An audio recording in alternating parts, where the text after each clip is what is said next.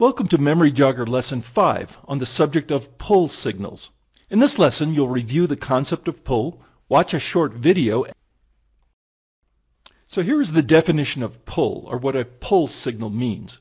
When work or materials are being pulled, you can't actually move the work or the material forward until there's a signal to do so, like an empty space, an empty container, or a physical card. This method eliminates the possibility of inventory accumulating between steps, beyond whatever quantity is defined as a part of the process design. So let's go back to our sandwich making example and look at an example of pull. Here's how sandwiches can be made with the pull method. You set up a signal or limit on the number of sandwiches that you will make ahead of time. Maybe this is a tray that only holds a certain number and as it is emptied, you refill it.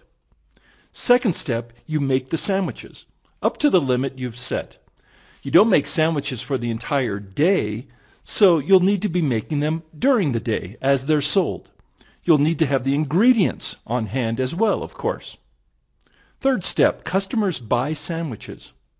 And when your small stock of sandwiches gets low, you'll need to make more to restock. So here are the results you can expect. You sold almost exactly the number of sandwiches you made, not necessarily 100%, but close.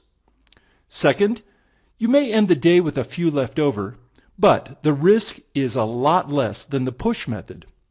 And finally, three, the sandwiches are fresher too, but not made exactly when the customer ordered them. So who builds sandwiches or hamburgers in this way?